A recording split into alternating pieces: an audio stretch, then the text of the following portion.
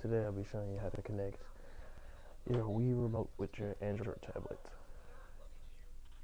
So the app you need is a uh, Remote Control, which you can get from the marketplace.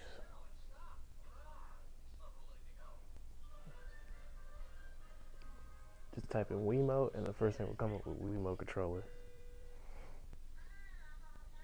Select it and install it like I, as I did here.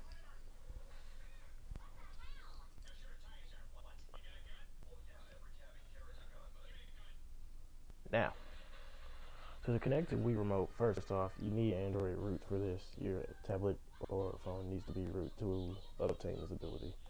So, first, we're not going to connect it. We're going to select the Wii Wiimote controller IME. Then we're going to connect.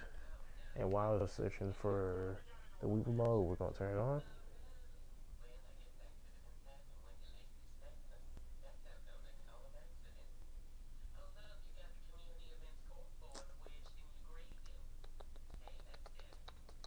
Oh, oh, oh. I forgot. Bluetooth has, needs to be turned on.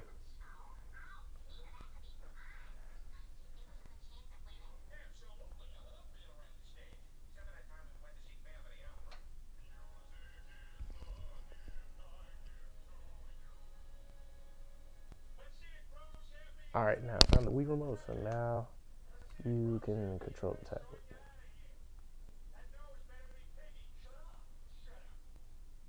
So now I'm going to do a test with one game.